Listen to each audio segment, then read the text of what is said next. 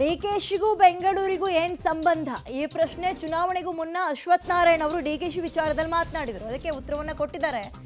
ನನಗೂ ಬೆಂಗಳೂರಿಗೂ ಏನ್ ಸಂಬಂಧ ಅಂತ ಕೇಳಿದ್ರು, ಬಟ್ ಅವ್ರ ಇತಿಹಾಸವನ್ನ ಓದಬೇಕಾಗಿದೆ. ನೀವು ರಾಜಕೀಯದಲ್ಲಿ ಮಾತಾಡಿದಿರಿ, ಬಟ್ ನನಗೂ ಬೆಂಗಳೂರಿಗೂ ಸಂಬಂಧ ಇದೆ ಅನ್ನುವ ಮಾತನ್ನ ಡಿ ಕೆ ಶಿವಕುಮಾರ್ ಹೇಳಿದ್ದಾರೆ. ಅಶ್ವತ್ಥನಾರಾಯಣ್ ಹೇಳಿದ್ದಕ್ಕೆ ತಿರುಗೇಟು ಕೊಟ್ಟಿದ್ದಾರೆ ಡಿ ಕೆ ಶಿವಕುಮಾರ್.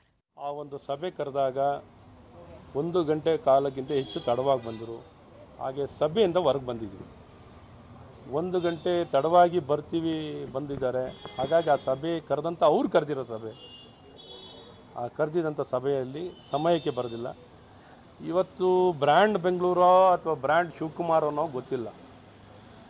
ಇದು ಬ್ರ್ಯಾಂಡ್ ಬೆಂಗಳೂರು ಅಂತ ಬಿಲ್ಡಪ್ ಹಾಕ್ಕೊಂಡು ಓಡಾಡ್ತಿದ್ದಾರೆ. ಇವರು ನೂರಕ್ಕೆ ನೂರು ಇವತ್ತೇ ಹೇಳ್ತೀನಿ ಕೇಳಿಸ್ಕೊಳ್ಳಿ.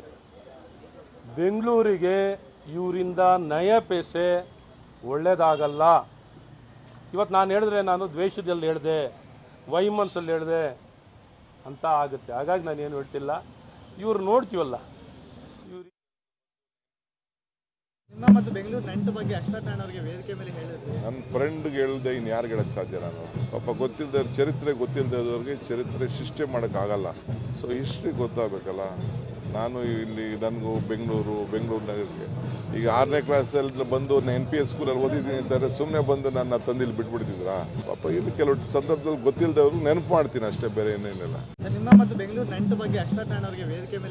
ನನ್ನ ಫ್ರೆಂಡ್ಗೆ ಹೇಳ್ದೆ ಇನ್ನು ಯಾರು ಹೇಳಕ್ಕೆ ಸಾಧ್ಯ ನಾನು? ಪಾಪ ಗೊತ್ತಿಲ್ಲದವ್ರ ಚರಿತ್ರೆ ಗೊತ್ತಿಲ್ಲದವ್ರಿಗೆ ಚರಿತ್ರೆ ಸೃಷ್ಟಿ ಮಾಡೋಕ್ಕಾಗಲ್ಲ. ಸೊ ಹಿಸ್ಟ್ರಿ ಗೊತ್ತಾಗಬೇಕಲ್ಲ? ನಾನು ಇಲ್ಲಿ ನನಗೂ ಬೆಂಗಳೂರು ಬೆಂಗಳೂರು ನಗರಕ್ಕೆ.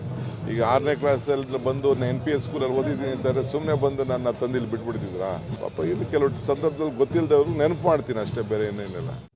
ನಾರಾಯಣ ಅವರ ಹೇಳಿಕೆ ಡಿ ಕೆ ಶಿವಕುಮಾರ್ಗೂ ಬೆಂಗಳೂರಿಗೂ ಏನು ಸಂಬಂಧ ಅನ್ನೋ ಪ್ರಶ್ನೆಗೆ ಉತ್ತರವನ್ನು ಬಹಳ ನಯವಾಗೆ ಮತ್ತು ತೀಕ್ಷ್ಣವಾಗೂ ಕೂಡ ಕೊಟ್ಟಿದ್ದಾರೆ ಡಿ ಕೆ ಶಿವಕುಮಾರ್. ನನ್ನ ಫ್ರೆಂಡಿಗೆ ಹೇಳ್ದೆ ಇನ್ಯಾರಿಗೆ ಹೇಳಿ ಅಂತ ಫ್ರೆಂಡ್ ಫ್ರೆಂಡ್ ಅಂತ ಕರೆಯೋದ್ರ ಮುಖಾಂತರ ನನ್ನ ಇತಿಹಾಸವನ್ನು ತಿಳ್ಕೊಳ್ಳಿ ಅವರು ಅಶ್ವಥ್ ನಾರಾಯಣ ಅವರು ಅನ್ನೋ ಮಾತನ್ನು ಕೂಡ ಹೇಳಿದ್ದಾರೆ.